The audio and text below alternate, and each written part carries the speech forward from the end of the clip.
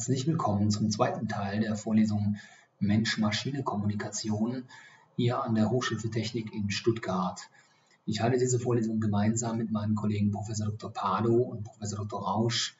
Ich bin Gero Lückemeier und werde Ihnen jetzt im zweiten Teil etwas über den Menschen erzählen. Lernziele dieser Runde sind unter anderem erklären zu können, was sich hinter Metaphern verbirgt und welche Modelle man für menschliche Informationsverarbeitung gebildet hat im Laufe der Zeit in der Forschung und welche Experimente manches in der menschlichen Informationsverarbeitung erklären können. Sie werden das Ganze dann in der Praxisübung auch auf Beispiele anwenden. Deswegen habe ich hier schon mal in grün entsprechend Blooms Taxonomy, Anwendungswissen, Application ähm, auch auf Beispiele anwenden eingefärbt, auch wenn Sie das natürlich erst nach der Praxisrunde wirklich können. Der blaue Teil Verständnis, also das Ganze erklären können, dazu sollten Sie nach dieser Sitzung schon in der Lage sein.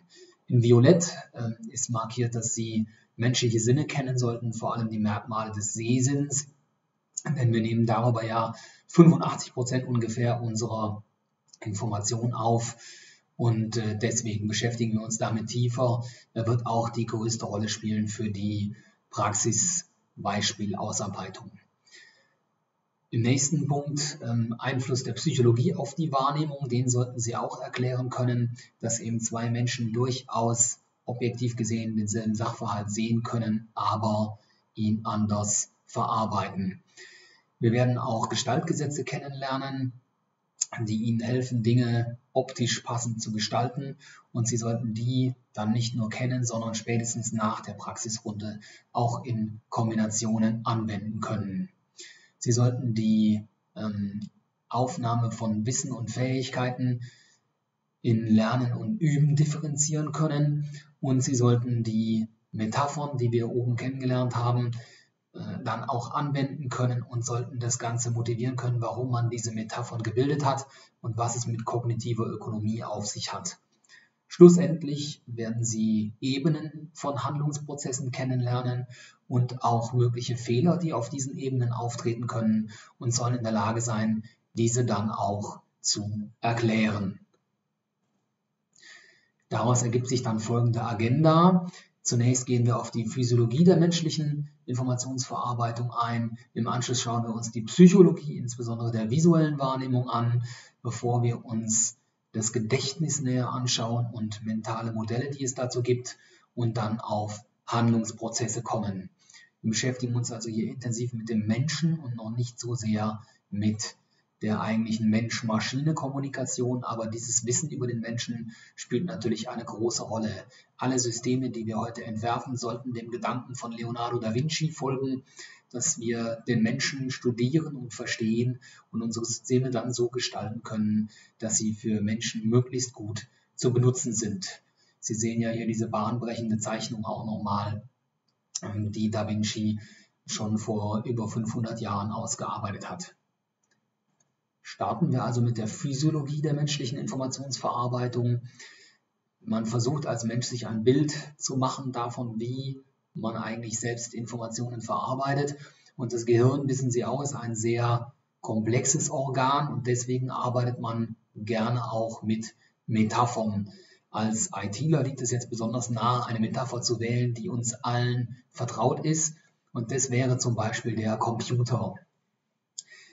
Der Mensch äh, interagiert mit seiner Umwelt, indem er von dort symbolische Gegenstände wahrnimmt oder ähnliches. Also der Input erfolgt hier grundsätzlich über Wahrnehmung. Und wenn wir den Menschen sozusagen als Computer betrachten, der dann diese Wahrnehmungen verarbeitet und der sich in einem gewissen Zustand befindet, wie das mit Software auf einem Computer auch der Fall ist, dann ähm, ergibt sich aus diesem Zustand bestimmte Bewertungen, die sind beim Menschen anders als beim Computer auch beeinflusst von Emotionen oder von Antrieben, die man hat, die oft auch auf Bedürfnissen äh, basieren oder auf Bewertungen, die man schon gemacht hat oder auch auf den Emotionen. Ähm, daraus generiert man dann also ähm, letztlich mit Hilfe des Wissens, das man besitzt. Wissen ist in dem Fall ein inneres Modell der äußeren Welt drumherum, das sie sich gebildet haben, und mithilfe ihres Gedächtnisses, wo sie Dinge abgespeichert haben, die sie früher schon erlebt haben, ähm, bildet man im Bewusstsein mögliche Handlungen aus. Und diese Handlungen, die gehen dann an das Exekutivsystem, das der Motorik sagt, agiere jetzt mal und dadurch können sie über die Motorik dann ihre Umwelt wieder beeinflussen. Natürlich können in der Umwelt eben dann auch andere Verhältnisse herrschen, als ihr inneres Modell der Außenwelt sagt. Sie können also neue äußere Weltmodelle auch aufnehmen und natürlich können sie auch den Zustand der Umwelt beeinflussen, was hier mit externe Speicher bezeichnet ist. Nochmal zusammengefasst die Erläuterung hier dieser Computermetapher. Im Grunde haben Sie hier das klassische Eingabe, Verarbeitung, Ausgabe, was Sie in den Grundlagen der MMK schon mit Geräten hinterlegt gesehen haben, das eben auch für das menschliche Bewusstsein und die menschliche Informationsverarbeitung. Sie nehmen etwas wahr, das Bewusstsein verarbeitet das Ganze unter Zuhilfenahme von Gedächtnis, also äh, auch von ihrem Wissen, von ihren Weltmodellen und gibt dann eben einen Aktionsbefehl an die Motorik. Ihr Speicher in dem Sinne, wie im Rechner, das wäre eben Ihr Gedächtnis und Suchen und Einprägen sind dann letztlich aktive Handlungen, so wie man im Rechner auch sagt, persistier mir jetzt mal dieses oder jenes Datum. Und bei der Wahrnehmung versuchen Sie im Grunde natürlich laufend abzugleichen, wie passt das, was wir sehen, zu dem, äh, was wir bereits kennen. Das kennen Sie insbesondere bei optischen Täuschungen, die dann ausnutzen, dass das, was wir kennen, nicht genau zu dem passt, was wir sehen. Und unser Gehirn interpretiert dann trotzdem, weil es letztlich ähm, Dinge sucht und damit wirkt unsere Wahrnehmung auch wie eine erfolgreiche Suche im Gedächtnis. Ähm, gleichzeitig, aufgrund der emotionalen Komponente und aufgrund unseres inneren Zustands, kann eben diese gleiche Wahrnehmung durchaus zu unterschiedlichen Resultaten führen, auch bei derselben Person, also auch bei uns selber, je nach Stimmung ähm, oder je nach Ereignissen, die sich in der Zwischenzeit zugetragen haben. Körperliche und geistige Faktoren beeinflussen das auch. Sie kennen das. Wenn wir müde werden, dann geht die Verarbeitung langsamer. Wenn wir gerade große körperliche Anstrengungen hinter uns haben, dann erfolgt die Verarbeitung sicher auch anders, als wenn wir völlig ausgeruht sind. Diese Faktoren spielen hinein und deswegen passt natürlich eine Computermetapher nicht so ganz. Als zweites möchte ich Ihnen das Modell von Rasmussen hier näher bringen. Rasmussen sieht auch die Umwelt und sieht auch wieder, dass ein gewisser Input hier an unsere Wahrnehmung herangeht, die hier unten links als Block dargestellt ist. Wahrnehmung geschieht per se erstmal unterbewusst laut Rasmussen, also unterhalb dieser Bewusstseinsschwelle, die Sie hier sehen. Und genauso wie in dem Computermodell auch, sehen Sie, dass es hier eine motorische Koordination gibt, die dann zu Output, also zu äh, Beeinflussung der Umwelt führt. Jetzt äh, laut Rasmussen befindet sich das Bewusstsein eben oberhalb der Bewusstseinsschwelle. Die ist das zentrale Element in diesem Modell. Und das heißt, unsere Wahrnehmung, die lässt sich steuern durch äh, selektive Aufmerksamkeit. Wir können also unsere Wahrnehmung bewusst auf etwas lenken. In der Herr der Ringe-Terminologie würden Sie vielleicht sagen, Saurons Auge wendet sich äh, einem bestimmten Punkt zu. Das war dann immer der Punkt, wo die Hobbits sich gefürchtet haben. Ähm, die selektive Aufmerksamkeit, ne, die verarbeitet also jetzt ähm, äh, in Kombination mit dem sequentiellen Prozessor, also mit ihrem eigentlichen Bewusstsein, was arbeitet, ähm, verarbeitet es diese Information und dementsprechend kann der sequentielle Prozessor dann auch ihre selektive Aufmerksamkeit auf einen bestimmten anderen Bereich lenken. Ich weiß schon, hier kommt ein Ball hinter einem Auto hervor, hinter einem Parkenden, wenn ich jetzt Auto fahre und demnach werde ich dann meine Aufmerksamkeit auf dieses Fahrzeug gezielt lenken, weil ich davon ausgehe, da könnte gleich auch ein Kind hinter dem Fahrzeug hervorspringen. Ähm, der sequenzielle Prozessor greift dafür auf Kurzzeitspeicher zu. Klar, ich muss noch wissen, dass vor wenigen Sekunden dieser Ball hinter dem Auto hervorkam. Und der sequenzielle Prozessor kann dann eben bewusst die Handlungen steuern. Ähm, der Bewusstseinsteil, der verarbeitet auch explizit ihre Ziele. Das heißt, ähm, hier findet eine bewusste Steuerung hin auf ihre Ziele statt. Unterbewusst liegen hier die Emotionen. die sie beeinflussen, ohne dass sie das immer aktiv wahrnehmen, außer sie reflektieren sich in dem Moment gerade selbst. Ähm, die Wahrnehmung läuft trotzdem auch unter der Bewusstseinsschwelle immer in einem Abgleich mit einem dynamischen Weltmodell. Sie besitzen also ein Modell ihrer Umwelt. Und was jetzt passieren kann, ist, dass Sie merken, hier passen Wahrnehmungen nicht zu dem, was Sie aktuell als Weltmodell haben, was eine normale Situation ist oder ähnliches.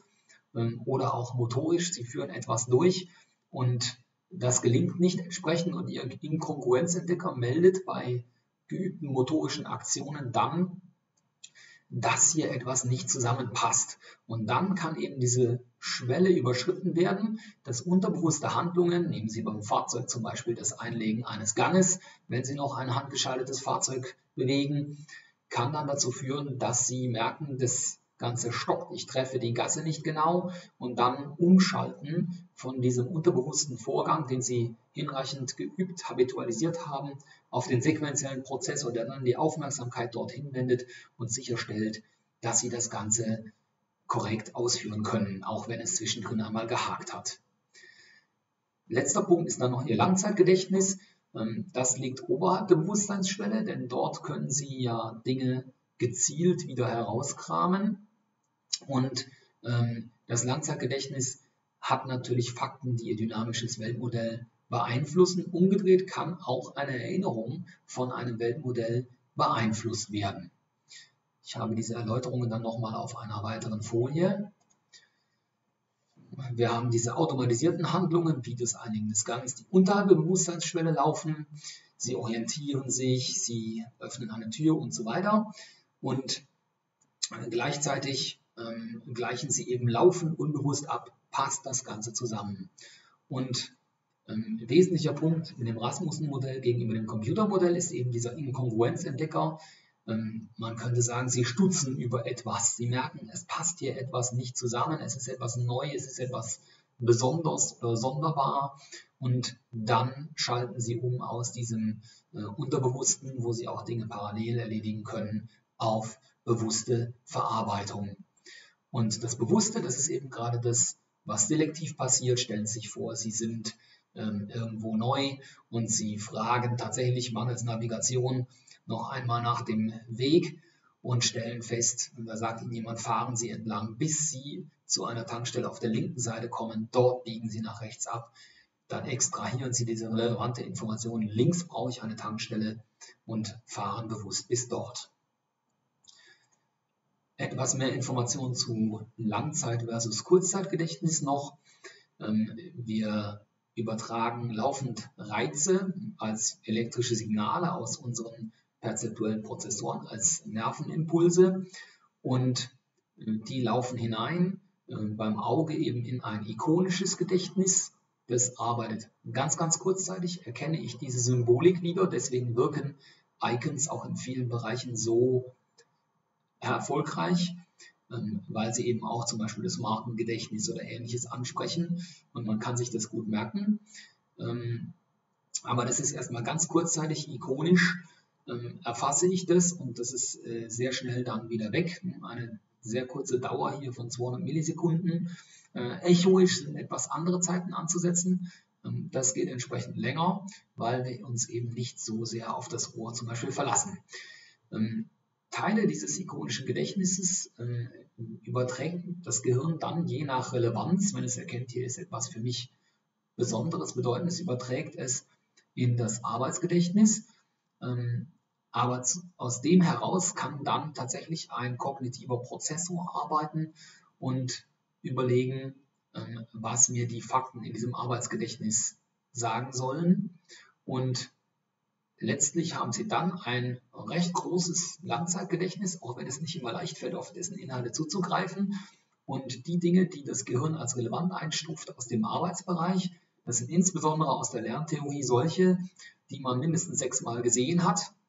Ähm, die überträgt das Gehirn aus dem Arbeits- ins Langzeitgedächtnis. Ihr Gehirn ist da also gnadenlos.